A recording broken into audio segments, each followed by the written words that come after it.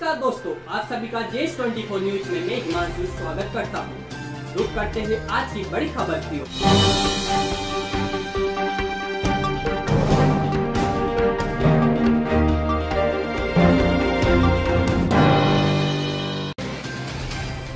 देवगढ़ तहसील के ताल पंचायत गाँव के भीलों के बालरा निवासी चांदीबाई भील के घर जाकर मिशन नीम ने गरीब परिवारों को जरूरतमंद सामग्री और नगद चौदह हज़ार तीन सौ रूपए दिए।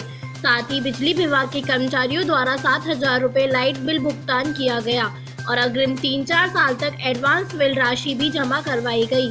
गौरतलब है कि वृद्धा अकेली एक पोती और दो पोतों को लकड़ी और कंडे बेचकर पाल रही है।